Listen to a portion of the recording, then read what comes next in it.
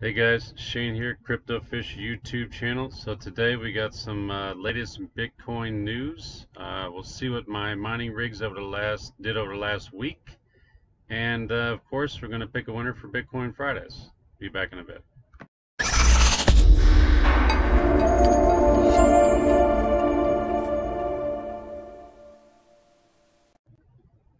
Quick, uh, if you're new here to the channel, be sure to subscribe, hit that notification bell below.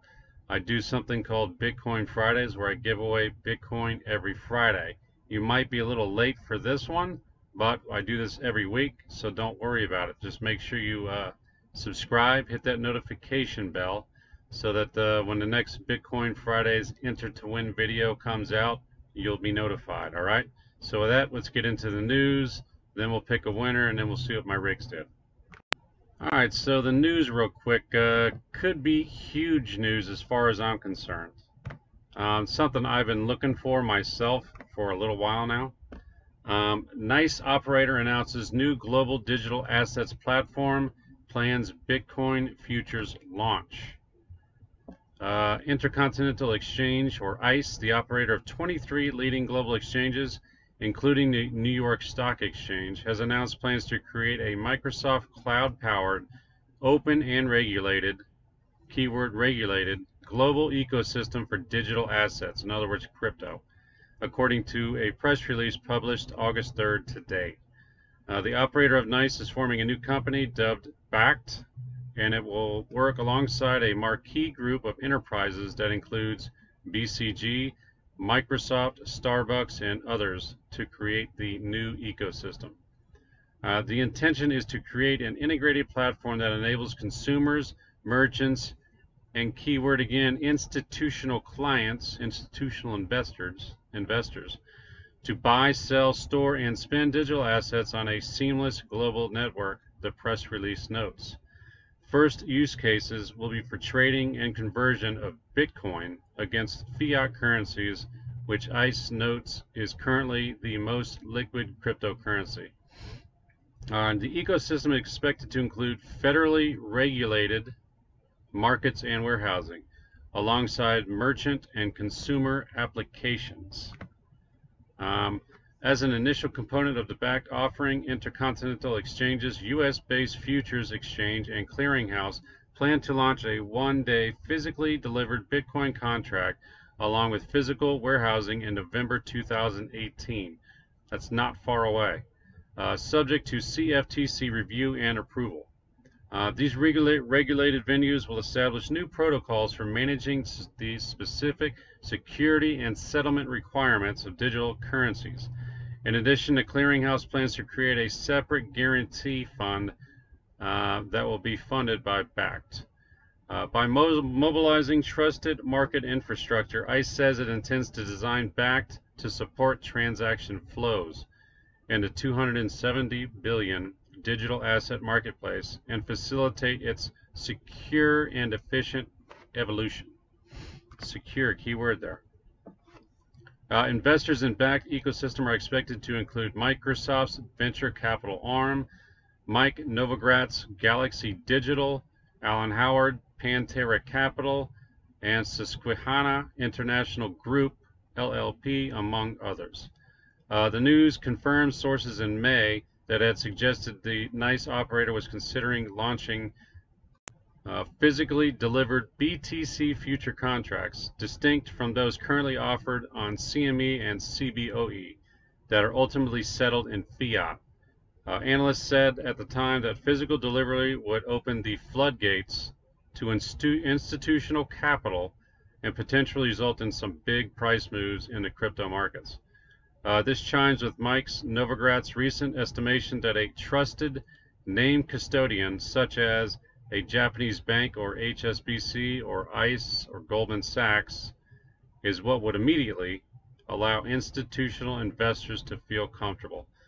So that little article right there is, in my opinion, it's huge. Um, and I, I, guess only time will tell if, uh, and actually in November, this goes through and approved. This could be the actual um, sign of a bull run, a legit bull run that uh, this market has been looking for all year long now. At least in we're in August, the last eight months. So really good news. Um, just thought you guys would be interested in that, and um, I hope it works out well. And uh, institutional money comes in, which there's a ton of it out there. And if that starts flooding in, I guarantee you Bitcoin's going to double, triple, maybe even more. All right, so let's um let's get in and uh, pick a winner, guys. All right, so let's head over to this video, the enter to win video. Let's copy that URL. Head over to the YouTube random comment picker, paste it in, and let's search 310 unique comments.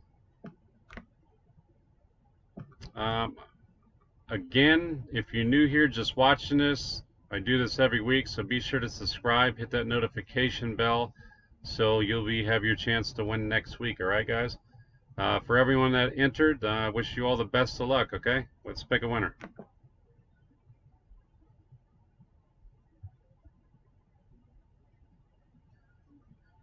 Rose ID, good job. All right, Rose, our first $25 Bitcoin Fridays winner. Let's copy your address, head over to the wallet, paste it in, take away the little brackets, click send. All right, Rose, congratulations. Um, if you could, let everyone know down below that you did in fact receive that Bitcoin, and uh, I would appreciate that. So now let's head in and see what uh, my rigs did over the last week. Okay, so July 27th through August 2nd, yesterday we had a grand total of 35.41.